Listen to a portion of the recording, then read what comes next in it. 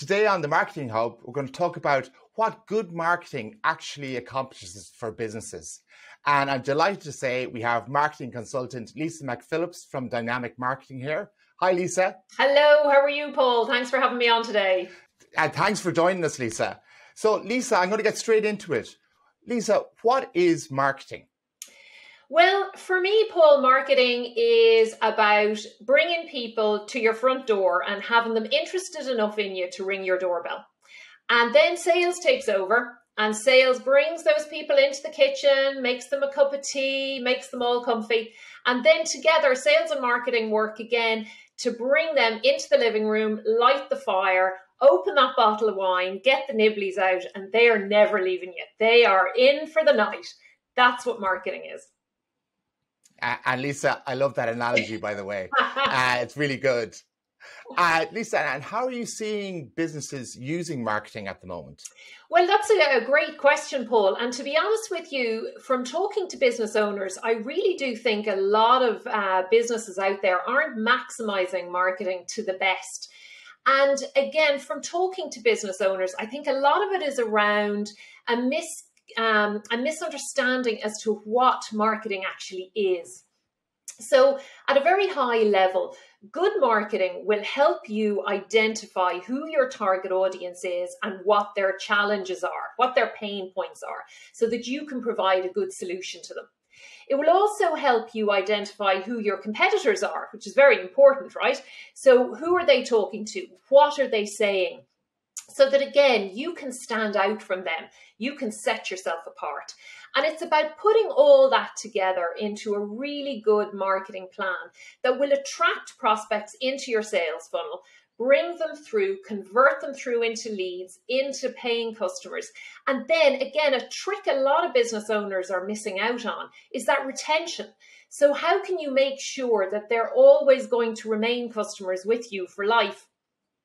And marketing really is about finding a good mixture of different activities that will help you achieve all that. And again, I'm seeing a lot of businesses focus in on one specific area, maybe social media, or maybe they do ad hoc tactical campaigns. Really, you can't put all your eggs in the one basket. A good marketing plan will have a mix of digital, social, and traditional methods um, and activities that have the long term goal of, of helping you achieve your overall business goals and objectives. So, is that adding revenue to the bottom line? Is it increasing your brand awareness? It's very important that you know ahead of time what those goals are, and then you can run your marketing um, to, to deliver on those.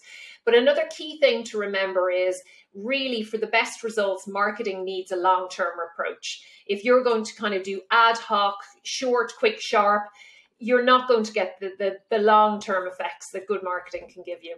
Okay, so and, and that sums it up very well, actually, that uh, you have to be in for the long term. That's fantastic, Lissa. And Lissa, just before we go, could you tell us a little bit about dynamic dynamic marketing uh, and the, the clients that you have and how people can contact you. Sure, thanks so much. So, yes, dynamic marketing. Um, I'm available at Lissa, L I S S A, at dynamicmarketing.ie. And my website is dynamicmarketing.ie. I'm also on LinkedIn, so please do reach out and connect with me. I work with clients of all different sizes, um, predominantly in the IT and financial services space, um, but I do have clients in other areas as well. And I offer a range of facilities.